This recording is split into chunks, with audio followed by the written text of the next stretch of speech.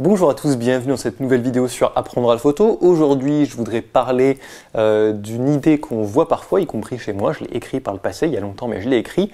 Euh, c'est l'idée de zoomer avec ses pieds. Alors, qu'est-ce que ça veut dire zoomer avec ses pieds? Ben, Ça veut dire que simplement, euh, c'est souvent utilisé dans le, dans le contexte d'une focale fixe. Hein. Souvent, quand on a un, objectif qui est une focale fixe et qui donc ne permet pas de zoomer, ne permet pas d'augmenter ou de diminuer la longueur focale, euh, eh bien on parle souvent de zoomer avec ses pieds, c'est-à-dire simplement bah, de plutôt que de zoomer et rester sur place et, bouger la focale, on va simplement avancer ou euh, reculer pour avoir un sujet plus ou moins gros dans l'image. Donc le conseil de base est pas mauvais parce que en gros ce qu'il y a derrière ça, c'est de vous inciter à bouger vos pieds, bouger vos fesses et ne pas rester euh, sur place à euh, juste ben, voilà, rester planté à un endroit et juste zoomer sans essayer de changer de point de vue.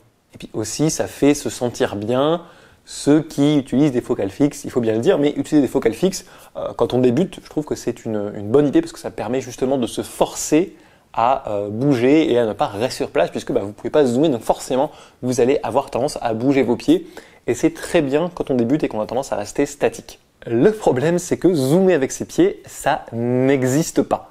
En effet, le fait de zoomer ou dézoomer et le fait de se rapprocher ou de s'éloigner sont deux choses qui sont euh, très différentes photographiquement. Euh, donc j'ai bien expliqué euh, la différence entre les deux dans la vidéo sur la focale et la perspective que je vous invite à re-regarder si c'est pas déjà fait. Mais en gros simplement, quand vous allez zoomer, vous allez plus on va dire euh, simplement, c'est comme si vous recadriez une image. Donc vous restez sur place, vous recadrez, c'est comme si vous zoomiez. C'est la même chose photographiquement parlant. Euh, par contre, quand vous allez bouger avec vos pieds, vous allez changer la perspective, c'est-à-dire euh, le rapport de taille entre les éléments qui sont très près de la caméra et très loin. Vous voyez que là, si je mets ma main très près, elle est aussi grande que mon visage, tandis que si je la mets là, évidemment, elle n'est pas aussi grande que mon visage. Hein. Cette partie-là ne fait pas la taille de ma tête, fort heureusement. et ça, c'est simplement parce que, ben, vous voyez, là, j'ai pas bougé la focale. Par contre, j'ai rapproché ma main.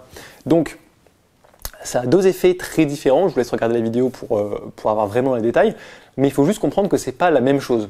Donc zoomer avec ses pieds, euh, c'est faux en soi comme expression puisque ben, quand on se rapproche, quand on s'éloigne, c'est pas du tout la même chose que euh, si on zoome ou non.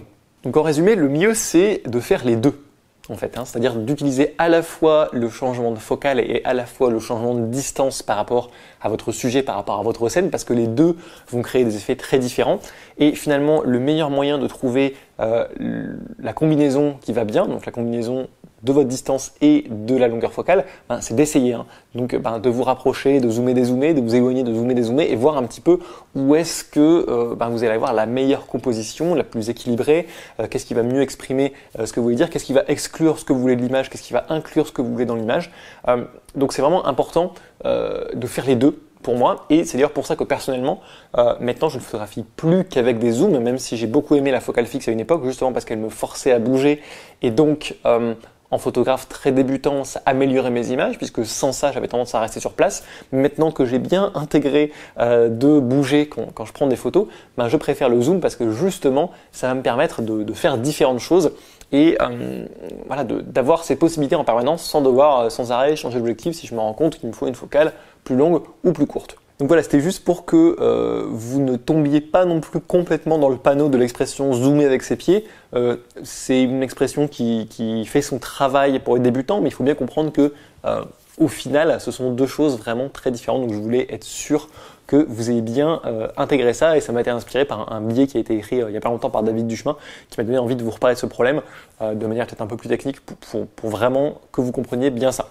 Donc voilà, c'est la fin de cette vidéo. Si vous l'avez aimé, pensez à liker, à partager, à mettre un commentaire en dessous. Et si vous découvrez la chaîne, ben, il, y a un, petit guide à télécharger ici que je vous conseille de lire si vous voulez améliorer vos images. Voilà, je vous dis à plus dans la prochaine vidéo et d'ici là, à bientôt et bonne photo